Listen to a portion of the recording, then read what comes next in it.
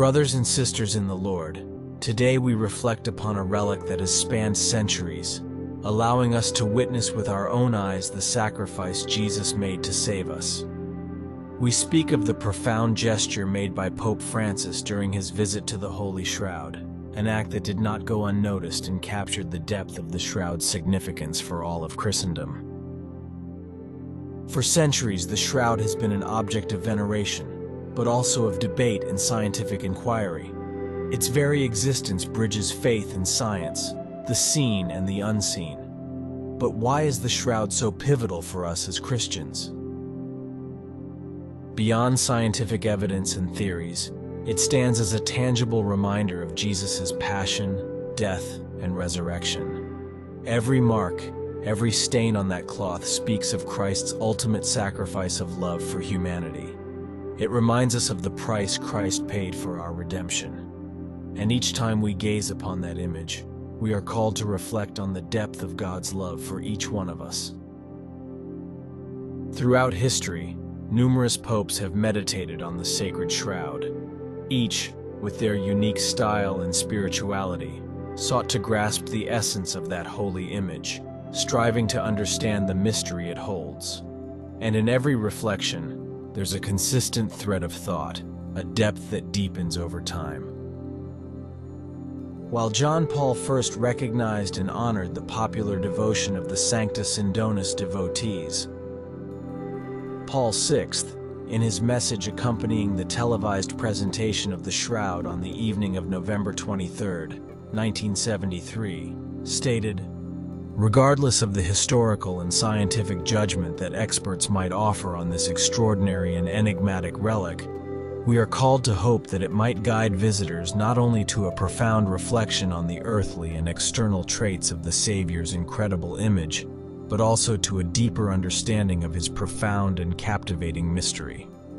I gaze upon that face, Paul VI concluded, and each time I do, my heart proclaims, It is Him.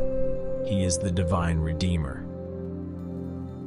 For John Paul II, the shroud posed a challenge to human reason, an extraordinary testimony that, in its silence, speaks sublimely to all of us.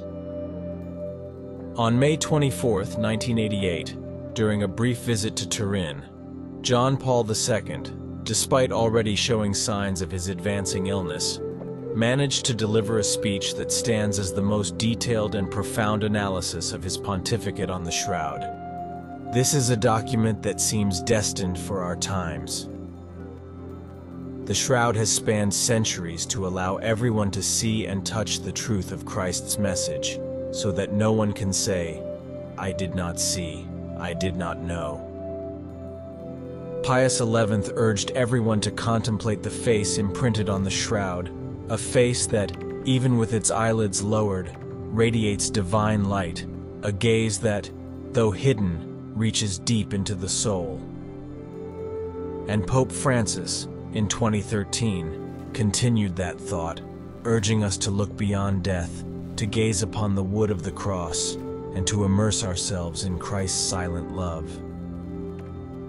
Benedict XVI also spoke about the shroud on several occasions, stating, He who is beauty itself let himself be struck in the face, spat upon, crowned with thorns.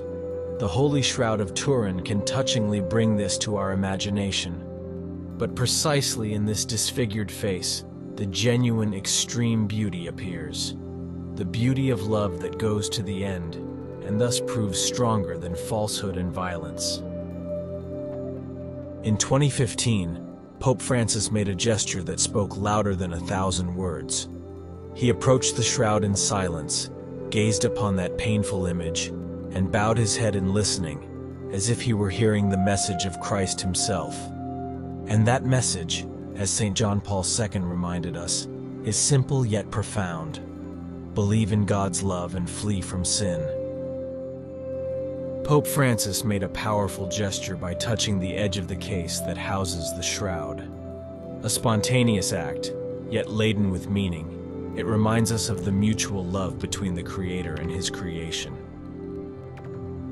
This gesture harks back to the early pilgrims who touched the relics of saints, seeking to connect with the object of their devotion. It also underscores the importance of faith, for without it, every action is empty.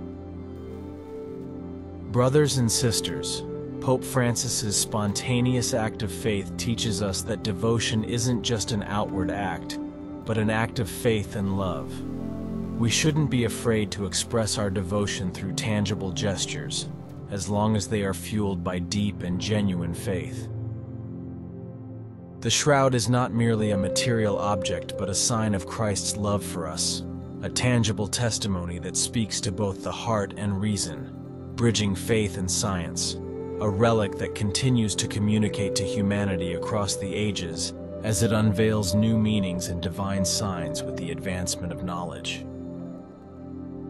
The shroud stands as the most significant relic in all of Christendom, and when we approach it with faith and love, we can offer Christ a tender caress, a gesture of love that transcends words. Let's reflect on the words and actions of our Holy Fathers and ask ourselves, how can I express my devotion to Christ today? How can I show my love for Him through my daily actions? Ponder these questions and let Christ's love guide us at every moment of our lives. Let us know in the comments what you think, and don't forget to subscribe to the channel to stay updated with new videos and become part of our faith and prayer community. May God bless you all.